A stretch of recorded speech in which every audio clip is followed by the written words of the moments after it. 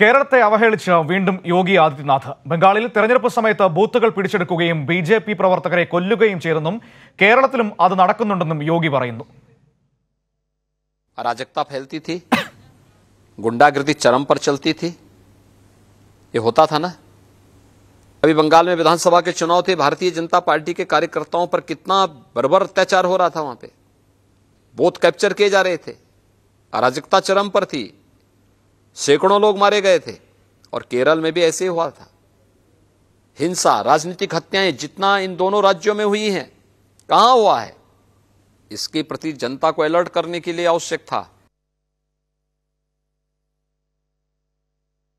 യോഗി ആദിത്യനാഥ് വീണ്ടും കേരളത്തിനെതിരായ പരാമർശവുമായി രംഗത്തെത്തിയിരിക്കുകയാണ് കഴിഞ്ഞ ദിവസം അദ്ദേഹത്തിന്റെ പരാമർശം നമ്മൾ കണ്ടതാണ്. വോട്ടർമാർക്ക് തെറ്റുപറ്റിയാൽ യു പി കേരളമായി പോകുമെന്ന പരാമർശം വലിയ വിവാദമാവുകയും വലിയ രാഷ്ട്രീയ ചർച്ചകൾക്ക് വഴിവെക്കുകയും കേരളത്തിന്റെയും യു പിയുടെയും സ്ഥാനം അല്ലെങ്കിൽ എന്താണ് നിലവാരം എന്നത് വലിയ ചർച്ചയാവുകയും കേരളം എത്രമാത്രം ഉയരത്തിലാണ് നിൽക്കുന്നതെന്നും യു പി എല്ലാ സ്ഥാനങ്ങളിലും ഏറ്റവും പിന്നിലാണ് എന്ന യാഥാർത്ഥ്യവും വീണ്ടും വീണ്ടും ചർച്ചയായ സാഹചര്യം കൂടി നമ്മുടെ മുൻപിലുണ്ട്. ആ ഘട്ടത്തിലാണ് യോഗി ആദിത്യനാഥ് രണ്ടാം ഘട്ട വോട്ടെടുപ്പിന് മുന്നോടിയായി വീണ്ടും ഇത്തരത്തിൽ ആരോപണങ്ങളുമായി രംഗത്ത് വരുന്നത്.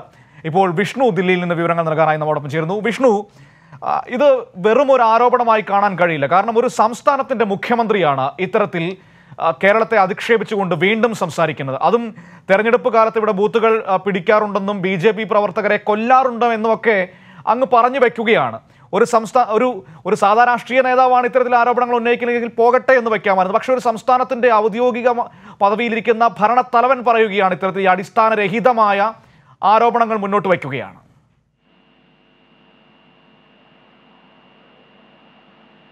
മനു തീർച്ചയായിട്ടും ഇന്ന് രണ്ടാം ഘട്ട വോട്ടിംഗ് ആരംഭിക്കുന്ന സാഹചര്യത്തിലാണ്. യോഗി ആദിത്യനാഥ് വീണ്ടും കേരളത്തിനെതിരെ രംഗത്ത് വന്നത്.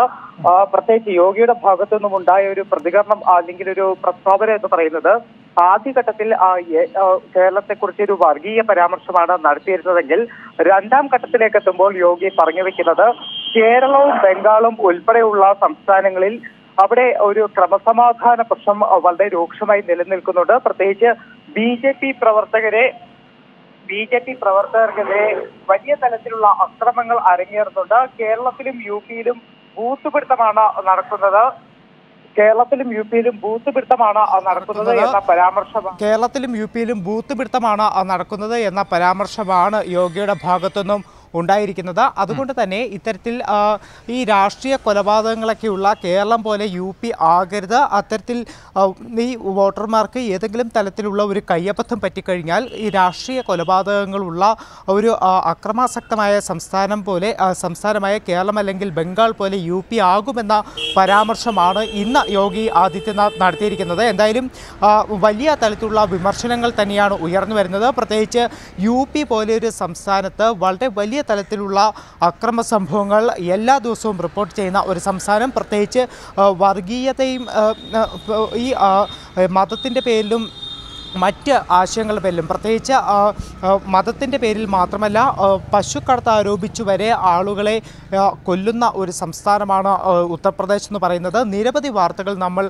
ഉത്തർപ്രദേശിൽ നിന്ന് റിപ്പോർട്ട് ചെയ്തതാണ്. പ്രത്യേകിച്ച് പശുക്കടത്തെ പേര് ആരോപിച്ചുകൊണ്ട് ആൾക്കൂ ആൾക്കൂട്ട ആക്രമണങ്ങൾ ആൾക്കൂട്ട കൊലപാതകങ്ങൾ അതോടൊപ്പം തന്നെ രാജ്യത്തെ തന്നെ ലജ്ജിപ്പിക്കുന്ന തരത്തിലുള്ള ചില ബലാത്സംഗങ്ങൾ കൂട്ട ബലാത്സംഗങ്ങൾ അടക്കം നടക്കുന്ന ഒരു സംസ്ഥാനമാണ് യു പി. അപ്പോൾ ആ യു പി കേരളത്തെക്കാൾ ക്രമസമാധാനത്തിൽ മുന്നിലാണ് എന്ന് യോഗി ആദിത്യനാഥ് പറയുമ്പോൾ അത് വളരെയധികം ചർച്ച ചെയ്യപ്പെടേണ്ട അല്ലെങ്കിൽ വിമർശനത്തിന് ഇടയാക്കേണ്ട ഒരു വസ്തുത തന്നെയാണ്. കാരണം കേരളത്തെക്കുറിച്ച് ബി ജെ പി കഴിഞ്ഞ കുറച്ച് നാളുകളായി തന്നെ കേരളത്തെക്കുറിച്ച് പലതരത്തിൽ തെറ്റിദ്ധാരണാജനകമായിട്ടുള്ള പല പ്രസ്താവനകളും പ്രചരിപ്പിക്കുന്ന ഒരു സാഹചര്യമുണ്ട്. ഇപ്പോൾ ആ, വോട്ട് കേവലം നാല് വോട്ടുകൾക്ക് വേണ്ടിയിട്ടായാൽ പോലും കേരളത്തെക്കുറിച്ച് തെറ്റായിട്ടുള്ള ചില പ്രസ്താവനകൾ നടത്തി വോട്ട് ധ്രുവീകരണം മാത്രമാണ് ഇപ്പോൾ യു മുഖ്യമന്ത്രി ലക്ഷ്യം വയ്ക്കുന്നത് മനു.